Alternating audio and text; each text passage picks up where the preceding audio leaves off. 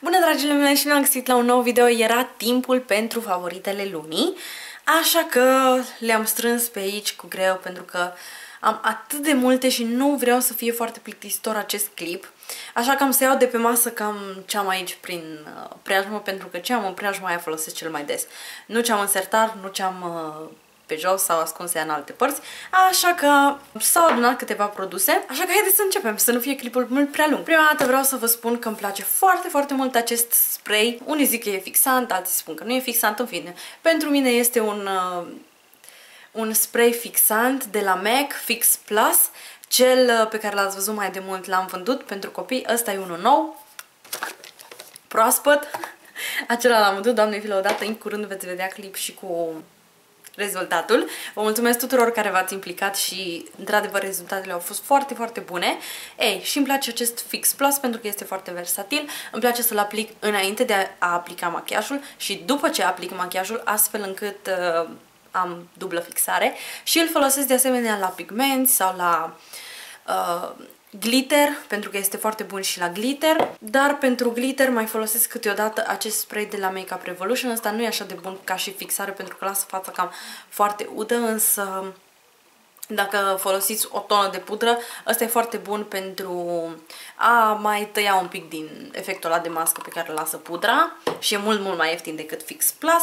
Al doilea lucru pe care vreau să vi-l arăt este această paletă de la uh, Michel Fan, de la M Cosmetics și am folosit-o foarte des pentru că îmi plac fardurile, îmi place calitatea pe care o oferă și bineînțeles asta am primit-o în uh, swap-ul cu prietena mea din Australia.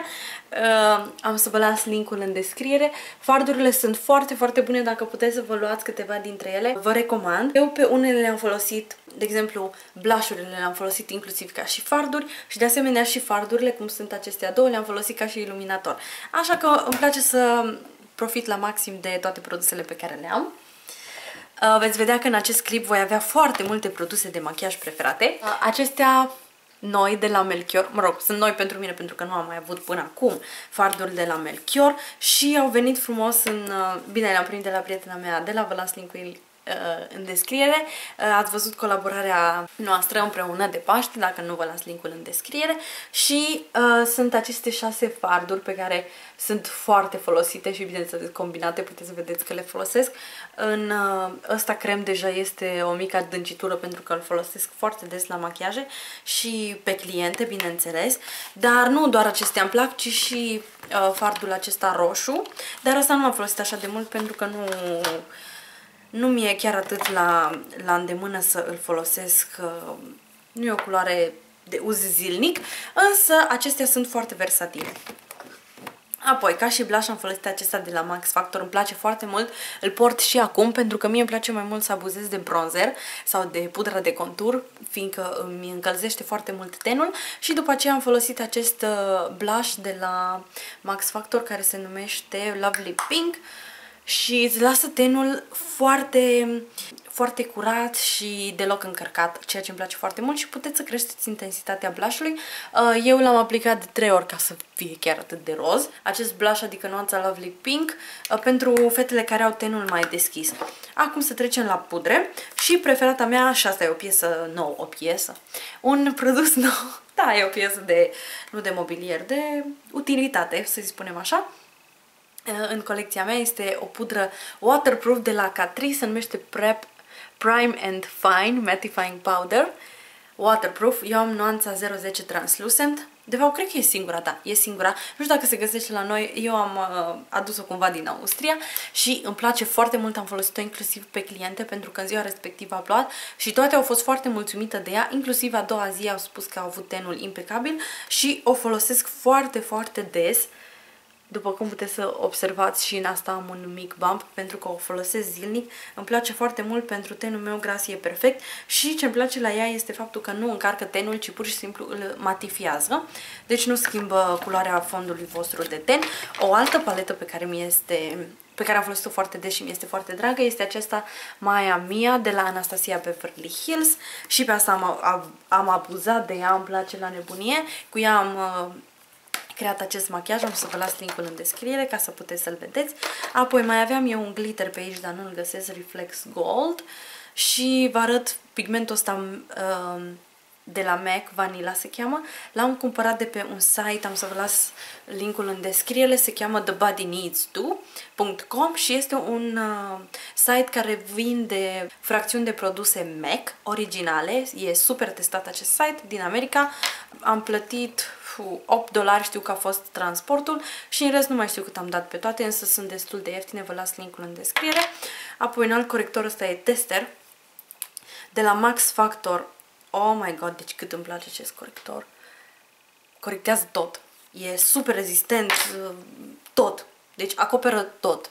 Deci nu am absolut nimic ce să-i reproșez, e corectorul perfect. Nu mai știu exact cum se cheamă, dar vă las, am să le notez pe site, pe toate. Și vreau să vă spun de bronzerul de care abuzez eu cel mai des în ultimul timp. Este vorba despre acest Mineral Terracotta Powder de la Golden Rose și îmi place la nebunie. E un duo, de fapt, un highlighter și un bronzer și îmi place foarte mult, deci rezistă extraordinar de bine și după cum puteți să vedeți nici nu încarcă, l-am folosit și aici pe frunte puțin, îmi place. Iluminatorul e puțin cam închis pentru mine, însă îl aplic puțin mai jos să se combine aici cu, cu pudra și atunci face o trecere foarte frumoasă între produse, astfel încât nu nu se vede absolut nimic urât. Apoi am aici alte trei produse pe care le-am folosit. Astea sunt toate de păr și le-am folosit și în tutorialul ăsta pe care l-am făcut acum. Uh, un produs de la Balea pentru uh, curls, serios, am vrut să zic curls, pentru bucle. Apoi un uh, spray protector de căldură de la Oriflame și asta îmi place la nebunie. Uh, am avut și crema, însă nu o suport, îmi încarcă ten. Tot timpul vreau să zic ten când vorbesc de păr. Nu știu de ce. Îmi încarcă părul extrem de mult ah, și nu îmi place senzația de cremă în păr. Nu îmi place, de aceea prefer uh, spray-urile și mă bucur că au venit în sfârșit cu un spray. Era timpul. Și un uh, Super Hold Spray Freeze Osis de la Schwarzkopf, care îmi place foarte mult. Uh, să știți că dacă apăsați prea de aproape, întărește uh, firele de păr. Însă dacă spreați, pulverizați mai de la deportare, ține uh, buclele în starea în care le lăsați după ce le-ați ondulat, astfel încât freza voastră rezistă, rezistă, rezistă. Și parfumul meu de primăvară, care îmi place mie foarte mult, este acesta de la Bulgari. Uh, nu l-am mai văzut în magazin, nu știu dacă se mai găsește. E parfume extrem, așa se cheamă, sper că l-am pronunțat bine, dacă nu, vă rog să mă certați. Uh, da, îmi place foarte mult, e ceva deosebit, nu seamănă cu niciun alt parfum pe care l-am avut până acum sau care l-am mirosit în parfumerii, fiindcă e de primăvară, e citrat, îmi place foarte mult. Și, bineînțeles, să nu vă zic că persistă 2-3 zile pe mine. Apoi, un ser care îmi place la nebunie este vorba despre acesta de la Nivea, Nivea Pearls și am să vă și arăt cât am folosit deja din el, puteți să vedeți. L-am folosit destul de mult pentru că îmi place. Uh, când simt că am nevoie de uh, îngrijire mult mai complexă, pun trei pompițe și îl întind până pe gât și aproape aici pe bus și îmi lasă tenul foarte bine hidratat și întins, nu știu cum să vă descriu senzația, însă dacă aplicați, de exemplu, două pompițe și le lăsați doar pe față, veți avea așa o peliculă albă care se va decoji, mai ales dacă folosiți machiaj, se va decoji cu fond de ten și nu vă recomand. Apoi vreau să vă spun că am început o nouă cură de vitamine, bineînțeles de la Oriflame, pentru că sunt cele mai sigure pentru mine, adică ah, știu exact ce... Nu știu, mi-au făcut bine, nu vreau să vă prostesc că, uai, cumpărați-le doar de asta. Mie mi-au făcut foarte bine și de aceea le împărtășesc cu voi. Este vorba despre astaxantin, despre care am scris pe blog. Asta e cel mai puternic antioxidant care există pe pământ. Și un complex de multivitamine și minerale care mie îmi fac foarte bine. N-am mai răcit decât cu acum un an și ceva pentru că am luat uh, anul trecut două cutii din acestea, deci doar două. Asta e prima pentru anul ăsta și mă simt foarte bine de la ele, la fel și de la antioxidanții ăștia îmi fac foarte bine la piele și la mușchi. Ok, acum să trecem la buze. Mm, rujuri nu știu exact să vă spun care le am, dar uh, vi le voi arăta și pe acelea imediat. Vreau să vă arăt prima dată aceste produse de la Oriflame. Sunt creionele de buze care eu le iubesc, nu le-aș schimba cu absolut nimic. Sunt foarte rezistente, foarte pigmentate, moi prelungește durata de păstrare a rujului pe buze, sunt extraordinari și sunt doar 10 lei, serios. Apoi acest tuș eyeliner stilo, tot de la Oriflame, am renunțat să-l folosesc înainte să-l numească The One. Uh, am renunțat să-l folosesc pentru că, nu știu, m-am îndrăgostit de tușul gel și am...